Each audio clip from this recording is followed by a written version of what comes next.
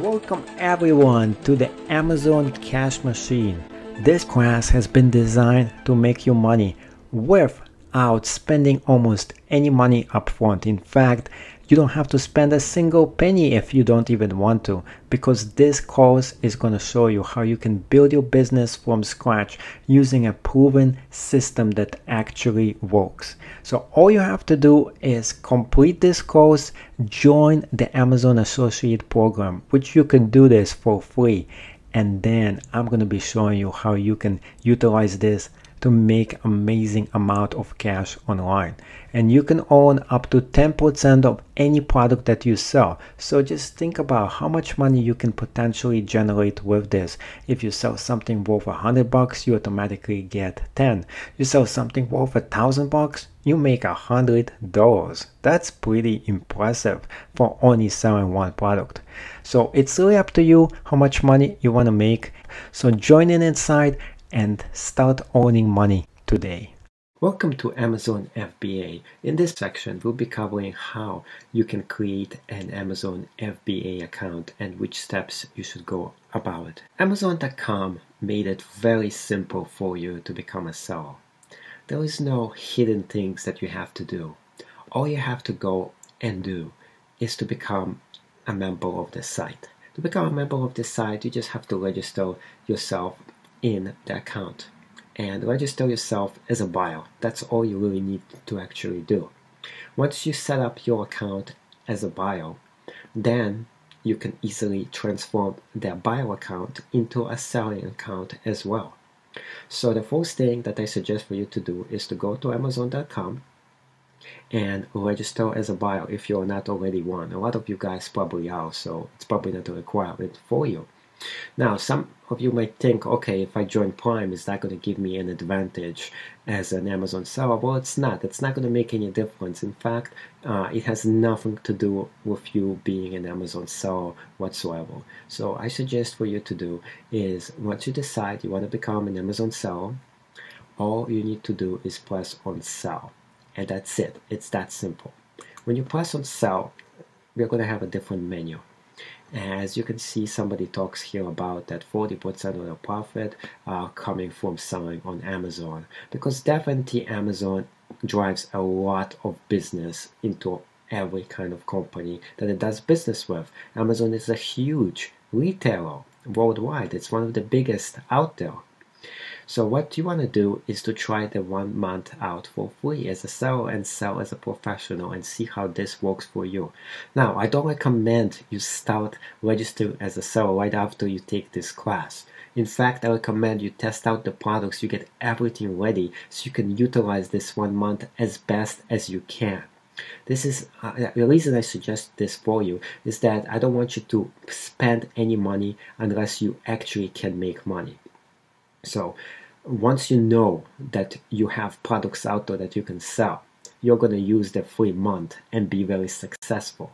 Once you're ready to be as a successful seller, you're going to start getting profits. It's much better for you to go into this when you already have all the information down. In fact, if you take this course, I don't suggest for you to take this course once. I suggest that you listen to every lecture twice. The reason for that is you want to get everything down, every single thing that uh, this course tells you to do, what not to do, and get everything down, the basics of the business, and write notes on a piece of paper. Because when you have all the basics down and everything covered, once you go through the first month, you'll be successful, a lot more successful than most sellers out there, and you will start making real good cash doing uh, this method after taking this course as seriously as you should, because you're gonna make be making a lot of money, and you have to be determined enough to be able to do this and be very profitable at it. So after you press on sell, what's going to happen is it's going to come up to this specific menu and it's going to say register and start selling today. So what we need is they need your business name, address, and contact information. Therefore, you have to establish this stuff before you register because it's going to ask you for this stuff anyway and then it's going to also ask you for your phone number uh, a credit card and a valid billing address and your tax identity information So all this stuff is very important for you, and then it's going to ask you for your legal name or whatever the name of your uh, business name instead. So all this stuff has to be covered by you and it has to be all uh, already put down before you're going to start uh, your Amazon FBA business. Therefore, it is important that you don't uh, start the registration until you get everything else down. And then when you get everything else down, and everything is ready to start the business, that's when you're going to go about and register as a seller. If you do this before you're ready, uh, they're not going to accept you in their agreement. And because Amazon is supremely picky who it's working with. So you gotta have all the documentation down. You, you can't just go and not have uh, one piece of documentation down right there, and they might not do business with you. And you definitely don't want them to reject you at all. So you want to have everything down and ready, so you can start doing business with them and start to making money as soon as you're ready with this process. Welcome back to the Amazon cash machine. Now, there was a few things I really want to tell you that is going to exponentially increase the amount of profit you can make on Amazon FBA. First off, I highly recommend that you get a smartphone. A smartphone is definitely essential for your business, and here is why.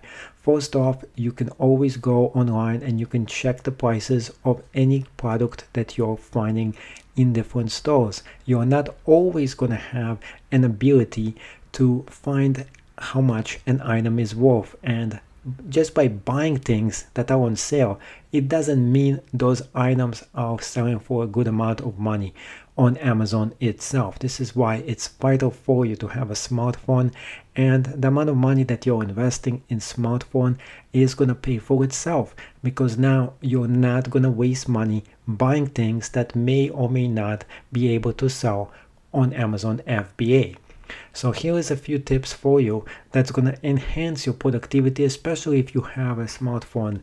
One of the things you need to do is to go to the App Store and download the Amazon FBA application. There is a bunch of different apps here that you can download, and one of them is the official Amazon Seller application. This is the main one you should actually get. Or you can just get the Amazon app. Those two are the main ones that I highly recommend for you to get. There is other ones here as well that you can try out and see if it works for you. But the most important thing for you to do is to enable to scan the item itself. So some of them like the Profit Bandit you're able to scan the product and immediately find out how much it's selling on Amazon itself. And then by scanning the product and looking at the barcode, now you know that this item might be worth maybe like 20 bucks. It is selling for seven. You definitely have a little margin of profit here. And the higher margin of profit means the more money you can potentially make by buying this product. So this is a very hefty thing that you could do. It is easy for you to do and it is one of the best returns on investments that you can do by investing in a good app getting a smartphone and always checking the price before you buy the item. Now the last thing i highly suggest for you to do is to buy from stores that have a return policy that allows you to return the item back. So for example let's say you bought something you're trying to sell it on Amazon FBA and it's not selling, you have around 30 days to give it back in most stores. So you're not going to have an excess amount of inventory that you're trying to sell and then a lot of it is not selling. That could happen as well. So you got to pick your products very, very carefully before you start getting a bunch of products and then having issues with inventory management. Inventory management is very important to your success as an Amazon FBA seller. I highly suggest for you to not have a humongous amount of inventory when you're just starting out. It's good to start with very few items and try to get rid of the inventory, even at a break even. Just as long as you get rid of it, it is more important for you to be able to go through the inventory and get new ones all the time. Versus you just keep on gathering inventory storing it and then not able to sell it especially with amazon fba storage fees is gonna definitely get your business and you're going to go out of business very very quick here because storage fees is going to be expensive especially since you're not storing it in your place you're storing it on amazon itself. So i highly suggest for you to do to think it over with the products that you're getting. Think how fast you're able to sell it.